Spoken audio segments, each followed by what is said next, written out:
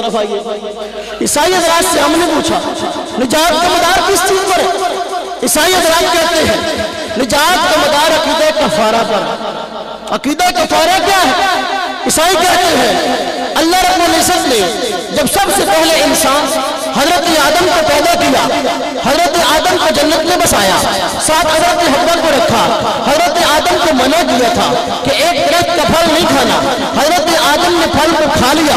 انہوں نے گناہ کیا اور یہ گناہ پہلا تھا اور پھر جتنی آدم علیہ السلام کی اولاد ہوئی ہے، ساری اولاد موروثی طور پر گناہگار ہوئی کیونکہ ان کا باپ گناہگار تھا، جو بچہ پیدا ہو رہا تھا، آدم سے لے کر حضرت عیسیٰ تک، سب گناہگار پیدا ہو رہا تھا اور عیسیٰ علیہ السلام آئے ہیں وہ حضرت آدم کی اولاد میں سے نہ تھے اور آئے اور سولی پہ چڑھے ہیں ہمارے گناہوں کا کفارہ بنے ہیں وہ کہتے ہیں جو آدمی عقیدہ کفارہ پر ایمان نہیں رکھتا، وہ نجات نہیں پا سکتا۔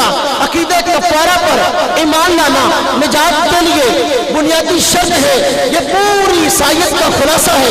اب میں ذرا آپ حضرات کے سامنے اس عقیدے کو واضح کروں۔ میں کہتا ہوں بنیادی کرتے ہیں جو عمارت تعمیر کی جاتی ہے۔ اگر تعمیر کرتے وقت اس کی بنیادیں ٹھیک نہ رکھی جائے، وہ عمارت آگے اوپر تک خیر و عافیت سے نہیں پہنچتی۔ اگر پہنچ بھی جائے زیادہ دیر اس کو قرار نہیں ہوتا یہ تیری بنیاد غلط ہے تو نے کہا عقیدہ کفارہ نجات کی مدار ہے میں کہتا ہوں بنیاد غلط ہے تو نے کہا حضرت عیسیٰ حضرت آدم نے گناہ کیا میں کہتا ہوں انبیاء سے گناہ ہوتا ہی نہیں ہے انبیاء گناہ ہے۔ پھر وہ جو ہوا، حضرت آدم سے، وہ کیا تھا؟ قرآن نے کہا فنسی آدمہ ولم نجد لہو ازما حضرت آدم سے بھول ہو گئی ہے۔ جان بوجھ کر یہ کام نہیں کیا ہے۔ وہ دنیا کا قاعدہ قانون ہے۔ کوئی یہودی ہو، کوئی عیسائی ہو، کوئی دہریہ یقین ہو، اگر اس کے سامنے کوئی آدمی کہہ دے، میں نے یہ بھول کر کام کیا ہے، اس پہ مواخذہ نہیں ہوتا۔